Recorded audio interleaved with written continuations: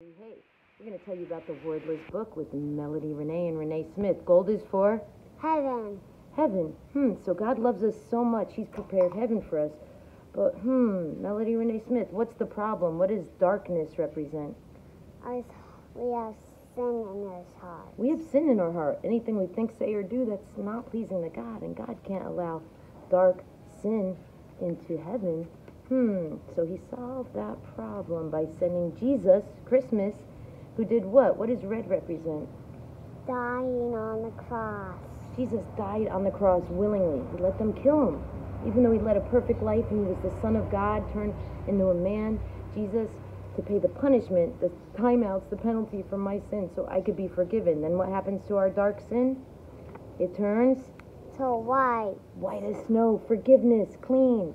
And Lily likes to remember, Lily and Addie like to remember that Jesus, did he stay dead? No. He came did what? Back to life. He came back to life, and that's Easter, and that's reminds us of forgiveness. So that's how to get to heaven. But we're on our way to heaven. We love Jesus. We're forgiven of our dark sins. He wants us to do what for green?